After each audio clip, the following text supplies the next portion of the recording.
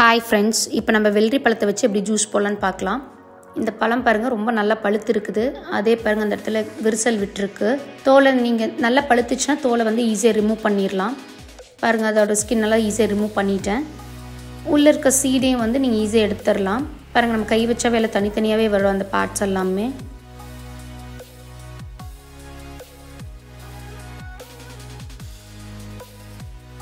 இப்போ உள்ள இருக்க சீடெல்லாங்க ஒரு ஸ்பூன் போட்டு ரிமூவ் பண்ணிவிட்டு இந்த சீடை நீங்கள் எடுத்து வச்சு சாம்பலுக்குள்ளே போட்டு பெரட்டிட்டுங்க. மறுபடியும் நீங்கள் முளைக்க போடலாம். ஈஸியாக வரும் அதுவும்.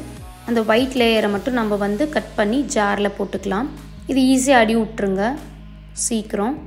அடித்ததுக்கப்புறம் சுகர் போடுங்க. இதுக்கு நாட்டு சக்கரை போட்டால் ரொம்ப நல்லாயிருக்கும் நாட்டு சக்கரையும் ஒயிட் சுகரையும் கலந்து போட்டிருக்கேன் இதில். அவ்வளோதாங்க நம்ம ஜூஸ் ரெடி ஆச்சு. வெள்ளரி பழ ஜூஸ் ரெடிங்க இந்த சம்மர் சீசனுக்கு ரொம்ப நல்லது. இப்போ எல்லா பக்கம் இருக்கும். ட்ரை பண்ணுங்கள்